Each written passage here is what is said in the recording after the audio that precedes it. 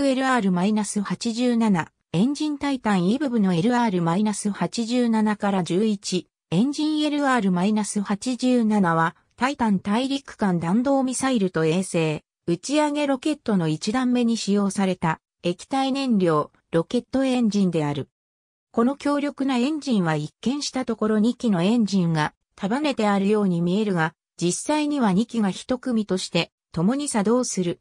LR-87 の最初の打ち上げは1959年である。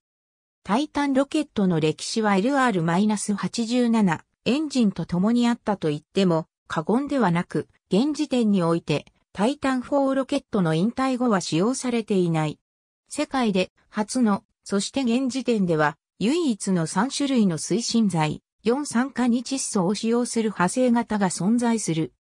ガス発生器サイクルのエンジンで再生冷却のノズルと燃焼室を備え、後の形式ではアブレーション冷却をノズルに使用している。LR-87 には少し変更された LR-91 があり、タイタンミサイルの2段目に使用された。水力は作動中、加減することができない。LR-87 は約 1900kN の水力を生み出す。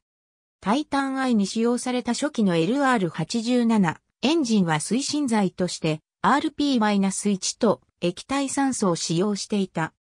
液体酸素は極低温なのでミサイルのタンクに長時間保管することは不可能なので打ち上げ前に充填しなければならなかった。タイタン2は推進剤をハイパーゴリック推進剤で常温で保管可能なエアロジン -50 と4酸化日窒素に切り替えた。それらの推進剤を使用することによって、長期間、常に発射できる体制で保管することができた。タイタン1ミサイルに使用された推進剤は RP-1 と液体酸素だった。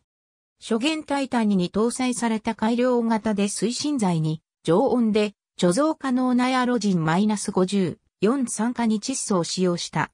自己着火性推進剤を使用したことにより LR-87 から3よりも小型、軽量化され、点火装置も不要になった。初元 LR-87 から5の改良型で、ジェミニ計画に使用された。LR-87 から5と性能はほぼ同じだが、燃焼室圧力は低くなりノズルの長さも短くなった。